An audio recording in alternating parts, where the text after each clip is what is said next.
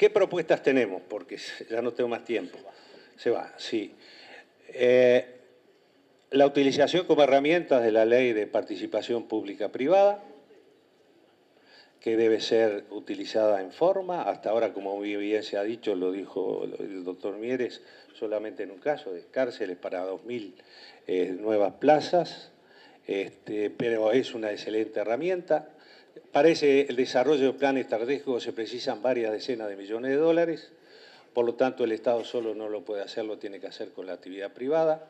Tenemos que fomentar también el apoyo a la corporación vial, eh, para tratamiento y el desarrollo de un sistema nacional de puertos, con el dragado del canal Martín García y de los canales de entrada por el río Uruguay hasta por lo menos Fray Bento y Paysandú, y también, si es posible, que lo es, hasta Salto, y la entrada, el ingreso al puerto de Montevideo por lo menos a 13 pies, cuando lo ideal es 14.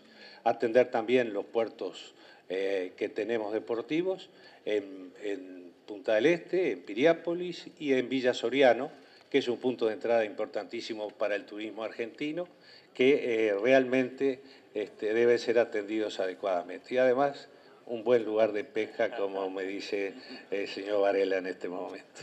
Gracias. Gracias, doctor.